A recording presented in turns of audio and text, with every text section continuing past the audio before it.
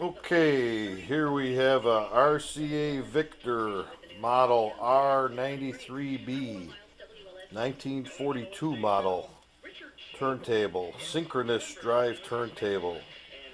You actually have to start this motor by hand. It only has a one positive and one negative pole on the motor. I uh, am powering it up by a uh, uh, using to amplify a Carhartt AM clock radio that has a uh, phono plug on the back. This is a 4648 model, model C14. Has a phono plug on the back. So you just switch to the phono. This uh, RCA Victor, I, would like to know some more about this, and I, I was wondering how much it was even worth.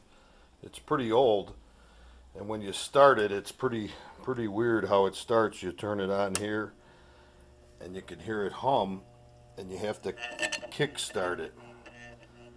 So once it's kick started, then you get your record. I got a record here called uh, the Automobile Song by Benny Bell. It's a pretty weird record. I throw it on here. I had to put a little yellow thing on the center to center it because it was all deteriorated. Not sure if this is all ready to play or not. Yeah, we'll give it a try. This record has a skip in it right there.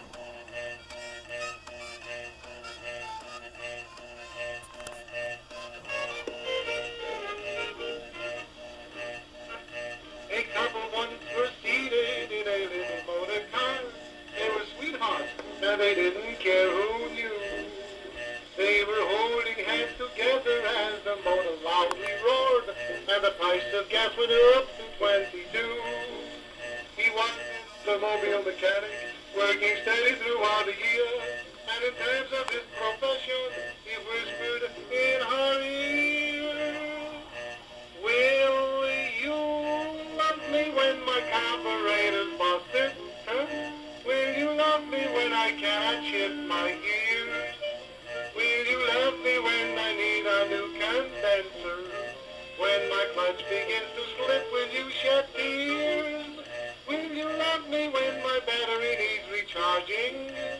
Will you love me when my pump is on the blink? By heck, when I haven't got a cent and my connecting rod is bent.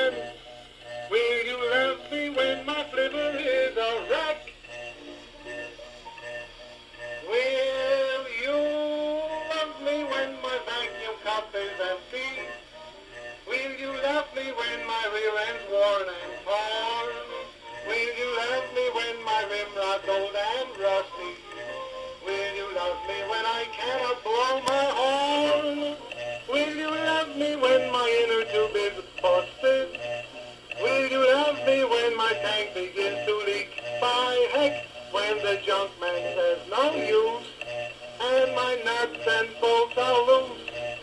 Will you love me when my liver is a wreck?